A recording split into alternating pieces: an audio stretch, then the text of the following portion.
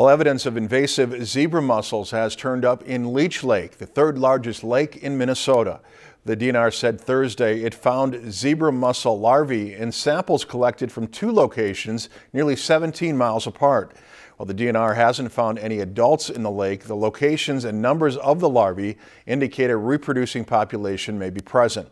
Zebra mussels disrupt the aquatic environment, cut swimmers' feet, reduce boat and motor performance, and clog water intake pipes.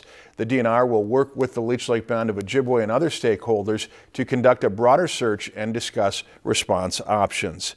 If you've enjoyed this segment of Lakeland News, please consider making a tax-deductible contribution to Lakeland Public Television.